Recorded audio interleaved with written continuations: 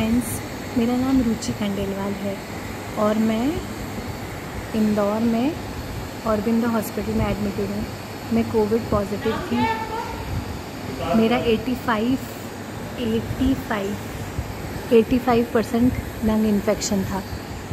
लेकिन देखिए, आज मैं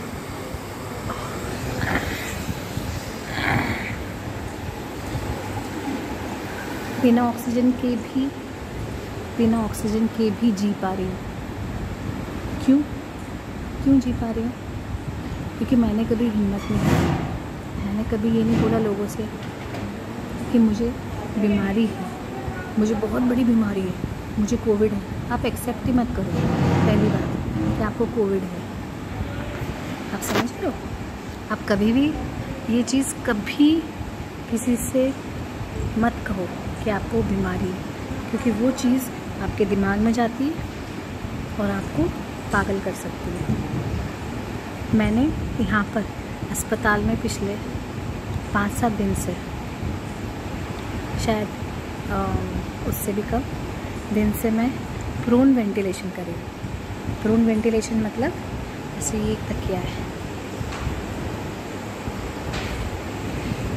इस तकिए को हमने नीचे रख दिया। एक तकिया है।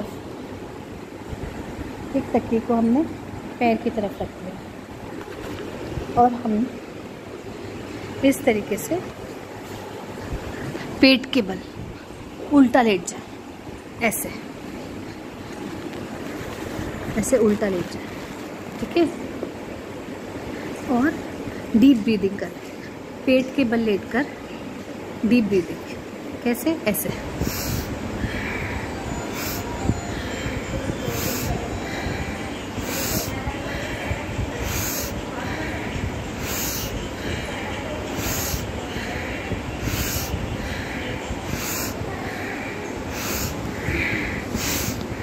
कंफर्टेबली भी आप कर सकते हैं।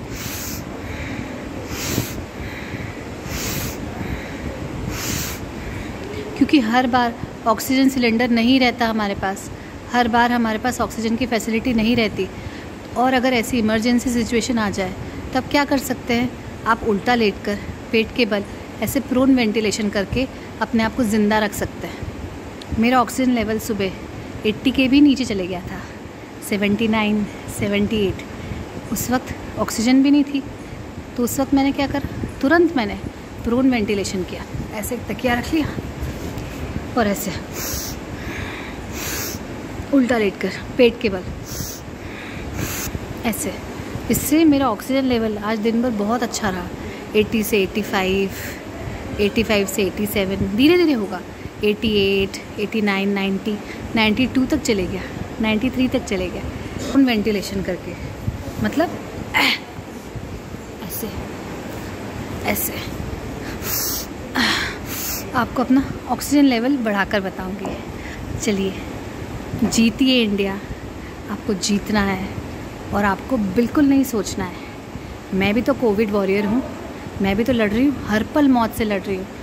85 से मेरा आज इन्फेक्शन 55 आया। फिर भी मैं बहुत खुश हूँ। तो आप सिर्फ़ पॉजिटिव रहिए लाइफ में। चलिए।